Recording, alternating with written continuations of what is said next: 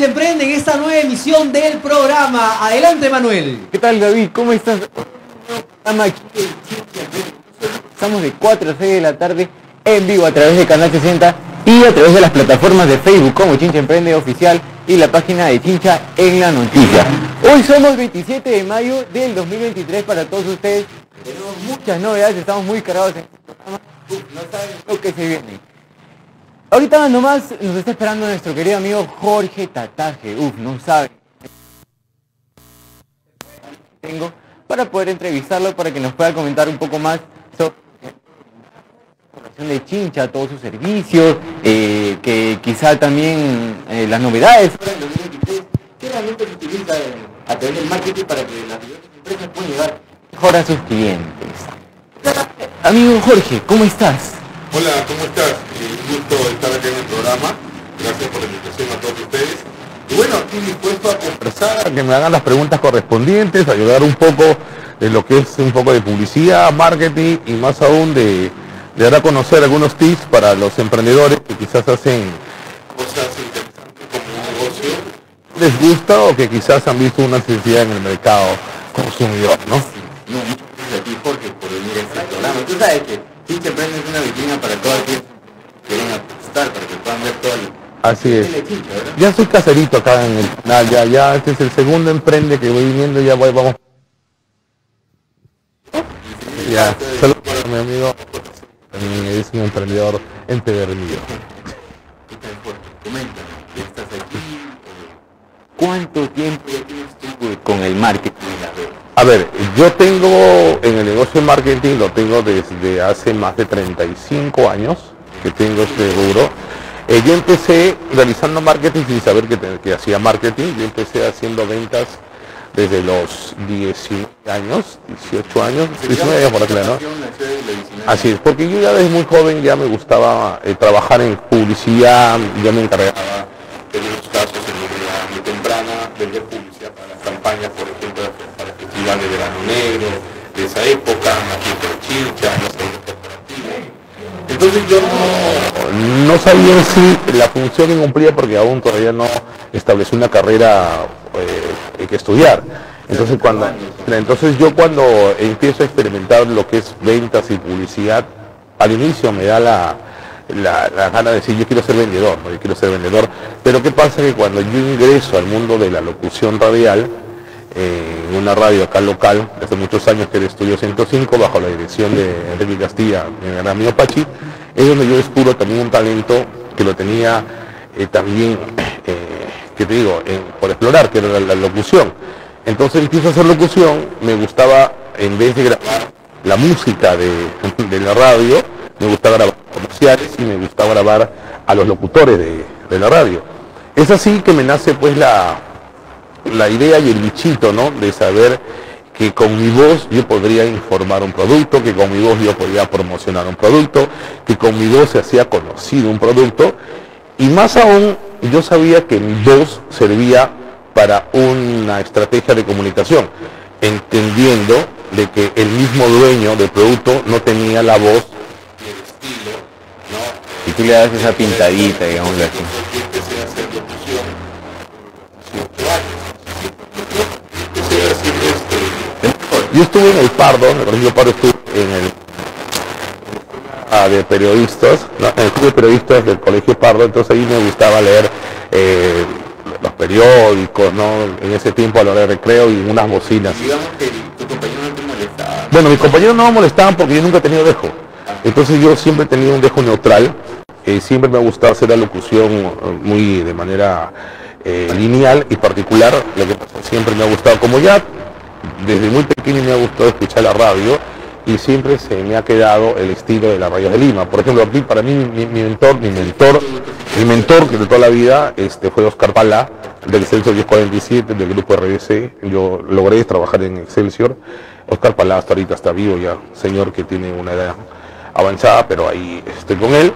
Él fue mi mentor porque yo lo escuchaba en Excelsior 1047. Él estaba, por ejemplo, decía este, Excelsior 1047, en los 91.5 de la FM. Estás con Excelsior, la salsa de la semana. Entonces yo siempre lo grababa y lo grababa y lo grababa. Entonces te queda el estilo, ¿no? Y como cualquier cantante que uno canta y siempre quiere, o yo quiero cantar como él.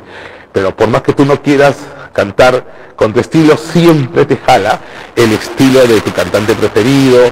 Pero llega en en que cuando ya tú entras a un a una situación, ¿no? Yo entro a la Charlie Chaplin estudiando mi carrera de marketing y negocios y en la Charlie Chaplin cuando yo voy yo era cero a la izquierda, o sea, yo me creía el locutor del año de Chincha, pero cuando voy allá mm, me tumbaron al piso y me dijeron, ¿sabe qué? No, papito, así no es, esto funciona así.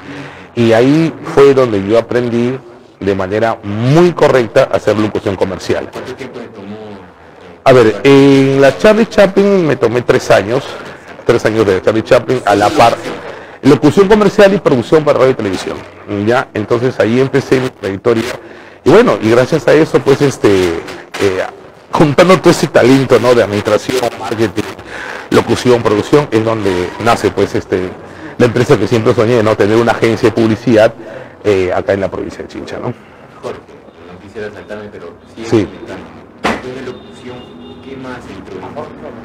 Bueno, yo, yo la, la locución, me encanta mucho lo que es la publicidad, me encanta mucho lo que es la, la producción, me fascina mucho hacer campañas publicitarias, ¿no? desarrollo proyectos de branding, proyectos de marketing, desarrollamos proyectos de, de publicidad para los clientes que quizás tengan la- las ganas de, de realizar, de lanzar un producto, relanzar un producto o quizás desarrollar este, nuevas experiencias de marketing en vía pública o en línea Ese es el sí que me gusta porque de hecho, como estoy ligado a la locución comercial, eh, me gusta mucho también ser parte del proyecto. O sea, Involucrarte, digamos. o sea, si hacemos un branding, lo que hacemos, lo que el branding hay que entenderlo bien, que si tenemos es el proceso de creación De la- de la marca, ¿no? y construcción de una marca, queremos seguir en el proceso de una vez terminar el branding, tener el proceso de marketing, buscar los canales de comunicación para que ese branding sea detallado y luego del marketing pasar a la publicidad, que son las estrategias de comunicación para que ese producto servicio al público objetivo. Entonces, mientras que hago eso, me encanta porque grabo también el spot. Te involucras más con la marca también. Grabo, ¿no? Y tengo los proveedores pues, de diseño gráfico, los videógrafos que desarrollan algunas campañas, ¿no? Entramos en el mundo de la publicidad pública, tenemos varios rubros también, que, que es, dan, dan satisfacciones y logros a nuestros clientes que están en la agencia. Ahora sí ya estamos hablando del tema de empresas, ¿Cómo se llama hoy en día? Tu empresa en sí, el nombre comercial es Publieventos, Publieventos, que es una empresa que sí, así yo. Entonces voy a apuntar los dos. Publieventos. Publieventos. Eh, tenía un publisur, pero ya me enteré que lo tenía Alguien ya con... Betancourt, ya decidí cambiar. Entonces tenemos un de matriz, luego tenemos ya varias divisiones, que es africana.com, Varias ramas. TVT, tenemos espacio científico, que son los paneles de vida pública, y tenemos también todos los servicios de, de, de, de las vallas, En sí tenemos ya varios proyectos que el cliente puede escoger para cualquier campaña de lanzamiento, promoción, o campaña de información. Tenemos diferentes, este, de- diferentes Servicios, digámoslo así, ¿no? Así es. Que todos van involucrados con Publieventos. Así es. ¿Cuánto tiempo ya tiene Publieventos ya formalizado, ya establecido? Mira, si yo te digo que tengo 35 gerentes, que la empresa tiene ya más de 30 ¿no? Sí, me voy a informar porque empezamos, sí, como debe ser, eh, pero fuerte, eh, fuerte, digo, ha sido en el año 2000, eh, creo que año terremoto, 2005, 2004, creo, cuando ya nuestra empresa lo- de la corporación Liner, Campo, Radio A, la 700 la tarde, logramos tener en todo el chico las siete emisoras concesionadas por nuestra empresa. Ahí es donde ya reflota Publi Eventos porque se convierte ya en una comercializadora de ventas de servicios de publicidad por segundos en la, en la, en la, en la, en la radio. Así es. Es que la es así. En ese tiempo entonces le dimos presencia a Z con el conocimiento de la agencia relanzamos Rock and Pop, nos metimos a todos los eventos corporativos, nos metimos a todas las discotecas, hicimos nuestro branding de, de Z Rock and Pop, empezamos a hacer merchandising a nivel provincial y logramos eh, estar eh, posicionados no en el primer lugar ni segundo, pero de que estamos en el puesto número 13 en, el CPI local, pasamos a ser el número cuarto. El, el número 4. ¿Cómo recibiste esa información cómo lo tomaste? Eh, ¿La cual información? la de estar en un, un rango, digamos, lo menor y ya. Lo que pasa es que cuando trabajamos en radio, y también ahí en ese tiempo trabajaba David Guayanca, ellos trabajaban en satélite, había por ejemplo los cortes locales, ¿no? Entonces siempre ellos estaban atentos porque le llegaba el CPI, el estudio de mercado de sintonía. Entonces cuando yo vengo de Lima, porque ya yo no estaba en radio, yo empiezo a evaluar cómo está la radio y llega la oportunidad de que eh, el gerente de ventas a nivel nacional de la Corporación Lines se reúne conmigo y me dice, mira, esta es la radio, pero está así en esta posición. Entonces ahí ya empezamos a hacer trabajo, ¿no? Porque me comenta producción que un pequeño corte nada más y regresamos con esta hermosa entrevista. Entonces porque estamos aquí de 4 de la tarde en vivo. Ya saben, estamos aquí en el programa Chincha Emprende.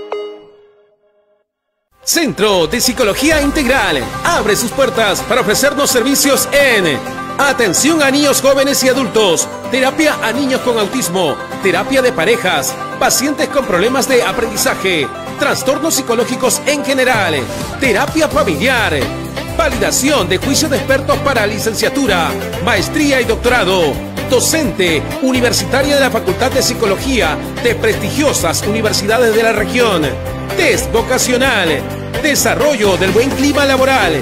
Comunícate al 956-594-972. Te atenderá la licenciada Elita del Pilar Lébano de Peña, colegiada y habilitada por el Colegio de Psicólogos del Perú. Atención, lunes a sábado, previa cita. Nos ubicas en calle Rosario, número 228, segundo piso, costado de la empresa Semapash. Centro de Psicología Integral. Lo mejor de la moda lo encuentras aquí en Nathaniel Store. Moda y estilo. Te ofrecemos prenda de vestir para damas, caballeros y niños. Short jeans, blusas, pantalones, zapatillas, perfumería, carteras, casacas, polos, conjuntos de tela y conjuntos jean y mucho más. Ubícanos en la segunda cuadra, calle Santo Domingo, en San 5, en Galería Plaza Italia. O contáctanos a los celulares 902 10 68 54 o al 966 86 99 24. Moda y estilo, solo aquí en Nathaniel Store. ¡Los esperamos!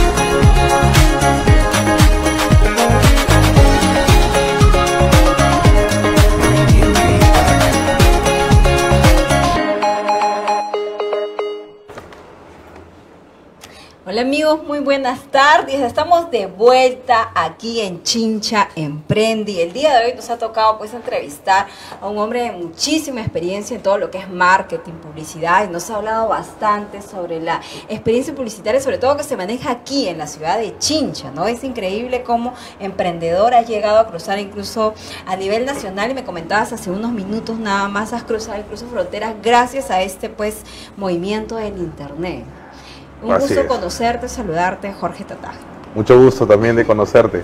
Eh, bueno, nosotros, yo, yo siempre he tenido claro dónde quiero llegar y con quién quiero llegar y por es qué quiero llegar. eso es clavísimo. Este, para mí no existe la palabra quizás, puede ser tal vez. Mi, mi concepto claro para mí como persona es tengo que llegar, voy a llegar.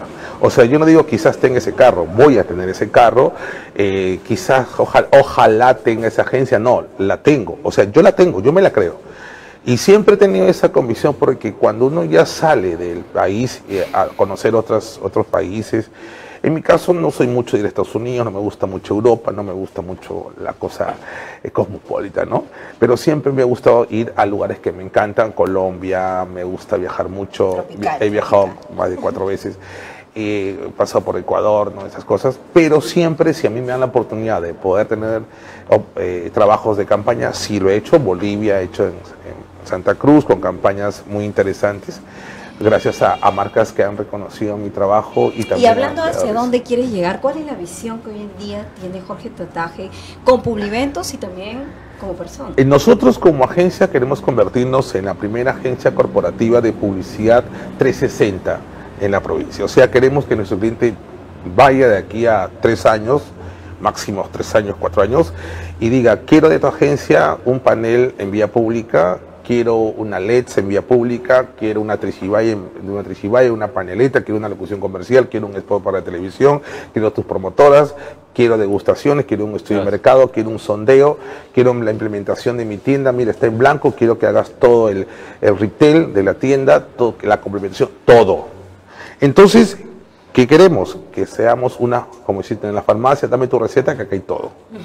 En base a eso, ¿no? Claro, Todo que tenemos que, tenemos que crecer, estamos creciendo en infraestructura, estamos haciendo más oficinas, pero la idea es tratar de que la empresa sea interesante. ¿Sabes por qué te digo? Porque no es una novedad.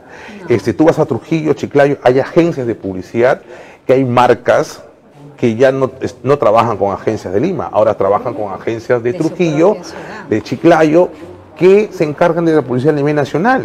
Arequipa ha tenido una campaña de Entel, una agencia de Arequipa que ha manejado su publicidad de Entel y otras marcas desde Arequipa para todo el Perú. ¿Y por qué yo no puedo tener Por mi supuesto, agencia y manejar bastante una talento, marca, ¿no? una marca desde mi agencia a nivel nacional? Debes tener un equipo bien creativo, Jorge. Mira que el equipo creativo lo maneja, somos tres, cuatro personas, el resto son solamente proveedores, pero quizás la experiencia y el trabajo de campo, el trabajo de campo, el, el- el cometer el- este, eh, al inicio errores y volver a pararse, cometer errores y volver a, a hacer el trabajo, eso nos ayuda. Eh, lo interesante de tener una agencia de publicidad es que si no conocemos a las personas, no conocemos el producto. Eso es lo esencial. Un estudio de mercado Para tú conocer, para tú conocer cómo se comporta tu producto, primero conocer a la persona. Así funciona esto, ¿no? Jorge, mira, tú sabes que a través de Chincha Emprende nos conocen muchísimos pequeños emprendedores incluso. ¿Qué tan, ¿Qué tan caro es hacer una campaña publicitaria si una pequeña o mediana empresa buscaría atreverse a hacerlo? ¿no? A ver, ¿Y cómo siempre, empezaría Siempre, más que siempre yo lo digo a los emprendedores, ¿no? Ese, el asunto no es pensar en chiquito, Claro, porque tu mente está con la idea de ser grande.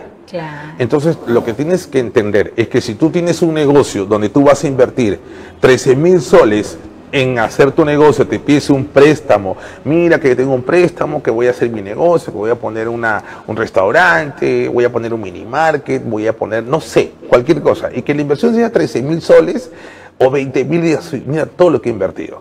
O sea, no puedes, no, es imposible que tú inviertas 20 mil en tu negocio y le metas mil soles en publicidad. No, pérdida, estás gastando tu plata. La estrategia es invertir el 17.65 de lo que tú inviertes en la implementación del negocio. Ya no tengo el 17.65, voy a invertir en que sea el 10%. Pero ahora hay mecanismos, hay plataformas que pueden hacer posible de que un presupuesto como el 15%, 10%, logres un objetivo de, no de quizás de, de- de ventas, pero tengas un posicionamiento, de marca. Posicionamiento de marca, Correcto. ¿no? Entonces, yo puedo ir, ¿sabes que Voy a invertir en redes sociales, en una plataforma, destinando a, un- a una campaña, pero tampoco no es invertir en una red social que solamente te deje llevar por la cantidad de comunidad que tiene. Del alcance que llegan a tener. Porque yo entiendo que hay páginas que también compran seguidores.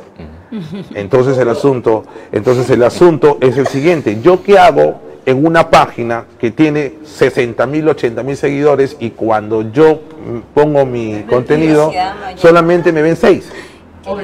Me ven 6, 7. ¿Qué significa? Que los que me, com- los que me han vendido Seguidores fantásticos. seguidores fantasmas son de Europa, Afganistán, Brasilia, eh, China, ¿me Es entiendes? En México. Entonces, ¿a mí qué me interesa? Para eso prefiero evaluar la cantidad de... Por eso yo digo, no, dice, no, que voy a invertir en redes sociales. Bienvenido sea. Ahora voy a ver tus likes. Pero ahora, si tú quieres convertir tus likes, ¿cuántos de esos likes, cuántos se compran por ese like? Y ojo, si tú no tienes un buen contenido en redes sociales, de hecho que tampoco es un éxito. Entonces cuéntanos a esos emprendedores qué tan importante es invertir en publicidad hoy en día, ¿no? Te lo pongo clarito, un ejemplo, para que todos conozcan. Para que todos conozcan y lo vean qué importante es la publicidad. Y para que vean lo importante que es la publicidad. Y esto queda claro. Si una señora que vive en Pueblo Nuevo, en la última cuadra de la calle Arica, en un verano, y la señora decide vender chupetes, ¿correcto? Mira el ejemplo que te voy a dar. Y la señora ha hecho 100 chupetes y resulta que el día domingo pasó mucha gente por ahí y vendía chupete y la señora no vendía chupete. Y la señora de los 50 soles que invirtió decidió invertir un sol 50 en papel bond, un plumón y poner y una cinta scotch. Y decidió poner la siguiente semana ese papel con el papel bond en la puerta de su casa y decir, se vende chupete de fruta. El siguiente domingo se le acabaron los chupetes. ¿Qué significa? El que no anuncia no existe. Claro. O sea, el que no anuncia no existe, así es, así es sencillo. Es, Así es, es tanta la importancia. Entonces sí, básico. pues es básico. estoy de acuerdo que Yo puedo, tiene que ser yo puedo hacer mi campaña de boca a boca, sí, que es el más efectivo, por la recomendación. Pero también existe que por la recomendación, que quede claro, por la recomendación, este, pueden venir 30 por la recomendación, pero también por la mala atención y por la mal producto se enteran 100. Entonces, hay que tener cuidado en estos rubros. En el rubro Oreca es un rubro muy delicado. El rubro Oreca consiste en hoteles, restaurantes y cafeterías. Es hay que tener un poquito más de tino, porque, por ejemplo, son productos de alimentación, ¿no? Que la gente cuida mucho su alimentación, ¿no? Entonces, la idea no es tampoco este, tener eh, eh, esa. decir tanto para vender poco. Claro. Y mucha gente está acostumbrada pues a poner en sus redes sociales, en sus campañas, hamburguesas que no son de ellos, platos de carapulga que no son de ellos, este picante de res que no son de ellos, ¿me entiendes? Entonces, si yo voy a ir con ese flyer que tú me das, o le tomo un screen, como dicen ustedes, al restaurante y resulta que esa comida que me vendes no es la que me estás presentando. Tiene que ser lo más real posible. Tiene que ser real. auténtico, Tiene que ser real. Si una campaña es real y su- si no tienes esa- ese complemento, es muy importante. Y ahora, bueno, que ya estamos, claro. o Mira, sea, estamos viendo unas imágenes. Bueno, sí, ahí estamos en varios eventos. Bueno, si falta, imágenes va- le va, a fal- no va a faltar tiempo de tantas imágenes que tenemos en campaña, en Claro, trabajo, sí. 30 años de experiencia. Bueno, ahí estamos con mi amigo Enrique Castilla, estamos en una campaña de su cerveza, ¿no? Esta es la cerveza de la cerveza chinchana, estaba con Chinchiví, una que estuvimos en Paracas ahí, co- acompañándola a mi amigo. ¿Qué experiencia tienes de todos esos eventos? Experiencias buenas, porque ahí tú de- evalúas cómo se comportan todos los consumidores. Entonces ahí, ah, mi gran amigo, Rodolfo Caguana, mi socio en la conquista de discoteca Ibiza de toda la vida, Coto Caguana. Bueno, eh, con Ibiza también fuimos un, hicimos un trabajo muy interesante porque nosotros inauguramos su discoteca, lanzamos la discoteca, bueno, y la discoteca que está vigente pues hasta ahorita de manera ininterrumpida, ¿no? Ahí está con mi gran amigo, mi partner, mi pata, mi amigo, mi hermano, compañero de chilingue toda la vida. ¿En qué rubro regularmente has estado trabajando, Jorge? Mira, yo he estado en el rubro de botellas, de Botellas. gaseosas, cerveza, he estado en el rubro inmobiliario, sigo en el rubro inmobiliario, hago campañas para empresas inmobiliarias, este, he hecho rubro automotriz, pero más, más me ha sido fuerte en campañas para eh, de licores, ¿no? Más que todo de cerveza, ¿no? Estado con Bacus he trabajado más de seis años, he sido como una agencia aliada para las agencias de Lima Grande y he trabajado muchas campañas, ¿no? A nivel nacional, hemos hecho con Cusqueña el trabajo de Paul McCartney, el último integrante de los La Beatles. campaña que más recuerdes, Jorge, que te ha quedado así La que más me ha enseñado, la que más me ha marcado ¿Por de todas las campañas, por el éxito, por el éxito. Eh, por el éxito ha sido el evento de Cusqueña, ¿no? Que sí que se presentó Paul McCartney, el integrante de los Beatles, que se presentó en el Estadio Monumental, que fue una responsabilidad muy, pero muy, muy interesante que nos puso a todos totalmente eh, nerviosos y con toda la adrenalina arriba, fue porque teníamos que trasladar nosotros como agencia, nos tocó casi de un aproximado de 20 ciudades, 20 llevar los ganadores, los ganadores a Lima. O sea, nos tocaba comprar los pasajes en avión, los Uh. pasajes en bus y como es cusqueña, todos los, ganadores se viajaban en buses a uno. O sea, no había un transporte que Cusqueña lo mande. Exacto, lo- un montón. Imagínate que hace como 10 años eh, el teléfono fijo nos llegaba pues 30 soles, 40 soles de teléfono fijo. Cuando pasó la campaña, nuestro recibo llegó a 1.200 soles en telefonía fija. Porque llamábamos a todas las ciudades, a los concursantes, porque era más a un acompañante, tomar los datos. Yo tenía que viajar a todas las ciudades para corroborar con el gerente de ventas quiénes eran los ganadores, porque eso era por internet. Ingresa a internet, descubre el código, iba de tus entradas para el concierto de Paul McCartney, gracias a Cusqueña. Entonces fue todo un trabajo logístico, un trabajo que que tuve también a cargo más de 25 personas que este, estuvieron como mis coordinadores en cada ciudad. ¿no? Y eh, gracias a, gracias a eso he conocido el Perú de manera muy interesante, pero a base de campañas. ¿no? Hemos hecho el Día del Amigo, hemos hecho Pilsen Callao, Cristal, Cusqueña, Cusqueña Trigo, o sea, tengo todas las campañas se hace para ver. En bebidas de gaseosas hemos estado con Guaraná, en varias campañas, hemos hecho como Vistar, eventos de playa, carreras de automotrices, o sea, de autos, eh, o sea, he tenido, he tenido bastante oportunidad.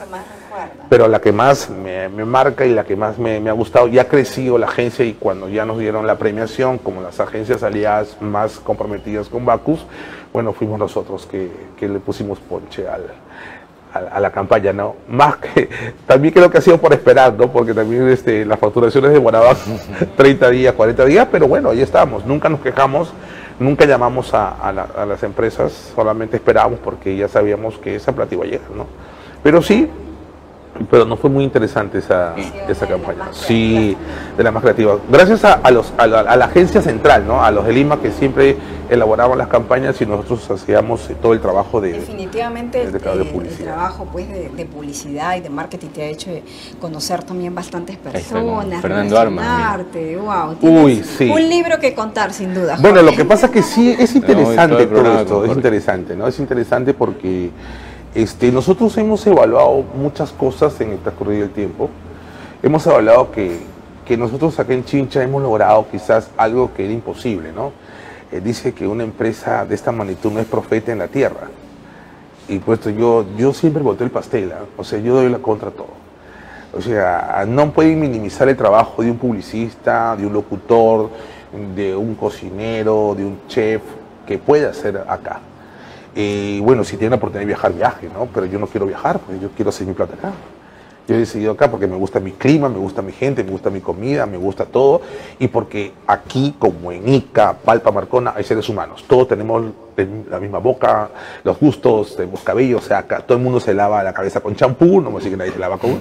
Y también la gente consume. Y en todos sitios se consume publicidad.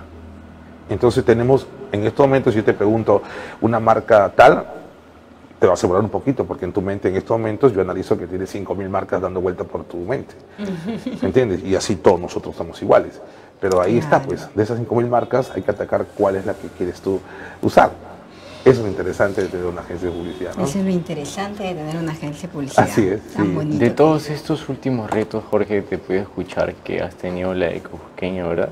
Sí, ¿Se te abrieron más posibilidades, más caminos? Sí, por supuesto, porque yo gracias a esa campaña nos, han- nos recomendaron a varias, a varias campañas de otras marcas porque eh, gerentes, que, gerentes que ya dejaban de trabajar en, la, en Bacus iban a otras empresas, que ya no eran de, de cervecería, eran de otras empresas de marca. Por ejemplo, estaban en, uno estaba trabajando en tiendas Wong, otros trabajaban en productos de alicor, entonces Jorge, mira, tengo una campaña, necesito, mira, yo trabajo contigo, ya sí dime, mira, quiero esto, esto, quiero campañas para licor, para mis marcas de fideos, para mis marcas de... me faltaron eh, manos. En fin, entonces Claro. y yo en base a eso he ido aprendiendo mucho. Siempre uno aprende, o sea, aquí no Sí, dejamos de aprender, ¿no? Me capacito siempre, cada tres meses, cada cuatro meses, me capacito Ah, en siempre, branding, me capacito en e-commerce, me capacito en, en trabajos de, de branding, que es muy importante porque a veces ya hay que estar conectados con muchas cosas. Entonces, y ahora que nos está invadiendo la en- inteligencia artificial, en este año, entonces sí.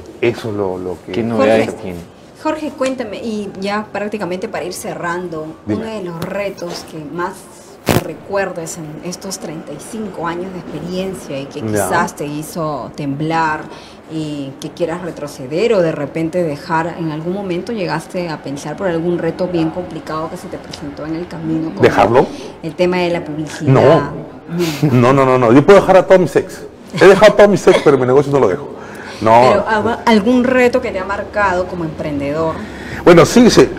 Te puedo decir que me ha marcado a veces por facturaciones, ¿no? O por a veces Porque uno. hay- hay- como todo emprendedor, Jorge, eh, creo que tú tienes ya 35 años de experiencia, siempre todo emprendedor en el camino ha tenido retos. Y hay retos que Y incluso... creo, creo que todos los que han tenido ese problema ha sido tener el capital. No creo que si tema es económico. chicana, este, ya no puede. O la pandemia. Uy, la pandemia sí. Pero la pandemia también ha sido un poquito, no un poquito, demasiado, ¿no? Porque hemos tenido casi dos años sin tener ninguna publicidad en vía pública. O sea, no hemos tenido nada. Pero siempre hemos tenido algunas cositas por ahí, hacer la- la- los mini markets virtuales, ¿no? Hacer campañas eh, por redes sociales, todas esas cosas, ¿no? Grabar. He grabado bastante en redes sociales publicidad. Imagínate cómo se invierte, ¿no? No tenía la agencia, pero tenía la voz. Entonces grabábamos los, los anuncios. Por favor, al ingresar, lavarse las manos con agua y jabón. Las personas que usan mascarilla, por favor. ah, O sea, teníamos que grabar. Entonces ahí he tenido ingresos de hecho, ¿no? Pero también este, ha sido problemas coyunturales, políticos, ¿no? Por ejemplo, a mí se me ha caído ahora último. siempre es continuar. Siempre continúa. Por ejemplo, a mí se me han caído facturaciones en el tiempo del cambio de gobierno de entre este, Castillo y Dina Boluarte. Porque hay ciudades que no se ha hecho nada. Entonces Claro. pues. A eso iba, ¿no? Esos Sí. retos, porque todos los emprendedores siempre en algún momento pasan por retos muy complicados, ¿no? Entonces, tu recomendación, tu sugerencia a esos jóvenes emprendedores que también son amantes de la publicidad y el marketing, o A ver, lo primero, lo primero es que quiero que si eres un joven que te gusta el marketing, primero disfruta el marketing. Si te gusta la publicidad, vive la publicidad. Si te gusta la publicidad, conviértete, conviértete primero en un consumidor de producto, analiza y vas a ver cómo de esa manera tú vas a poder analizar mejor la publicidad. Y si eres un emprendedor, bueno, no es mala noticia, pero solamente que, que tus ganancias no las vas a ver ni en, ni en seis meses, ni en un año, ni en dos años. El éxito de tu emprendimiento lo vas a ver en tres años para que tú puedas primero implementarte, sentir que ya eh, tienes el potencial económico y tienes una buena logística y tienes todos tus productos, pero que me digas que vas a hacer en seis meses, eh, un año el negocio un éxito, no. El asunto es crecer y si quieres crecer con patentes o sucursales, te va a costar. Entonces, y vas a dejar, dejas todo a veces, ¿ah? a veces, a veces uno cuando es emprendedor sacrifica hasta, hasta su, su vida. Muy bien. Ha sido más que un gusto conocerte, Jorge Tataje. Ahora sí, con Jorge, con nuestro amigo Manuel Díaz, nos vamos a un breve corte comercial y volvemos con más aquí en Emprende. Emprende. Listo, gracias. Muchas gracias.